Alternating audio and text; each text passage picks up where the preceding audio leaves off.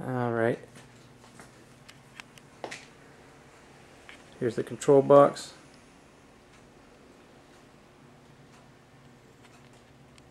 The filling